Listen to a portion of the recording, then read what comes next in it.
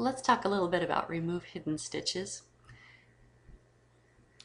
Remove hidden stitches is a feature of Essentials. Now here I have an embroidery design which I used creating Stitch Artist and an existing stitch file. The existing stitch file here was the, the green outline that you see. This is supposed to be an applique um, with applique stops to, to mark the fabric and tack it down. And then I placed the, the design for the interior of the mask and then we do the, the border to finish up the top and bottom of the mask. So um, I made this design in my software and then I took it to my embroidery machine and I discovered this. No stitches in the border, none at all. Um, so there's no, no tack down and there's no applique mark. There's no stitches here.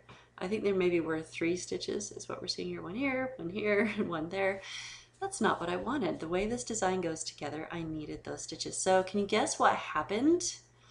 Gold star if you did.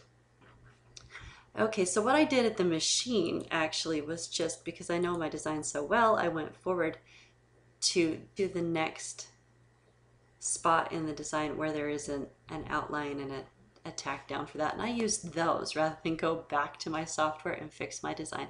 But how could I have avoided this? Well, um, Embrilliance does have the ability with Essentials to remove hidden stitches, but it gives you control. So you can make it not do that if you want to. So here's what I needed to do.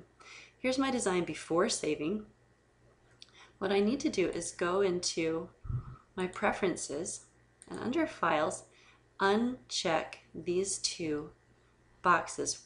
One says remove overlaps when saving stitch files. The other says treat objects labeled applique position as filled. Okay, so I'm just uncheck both of those and apply that before I save my stitch file. And then I have my outline, my mark, and my tack down for the applique. And then the design works the, the way I want it to. A tip on using remove hidden stitches with applique and stitch artist together in Embrilliance.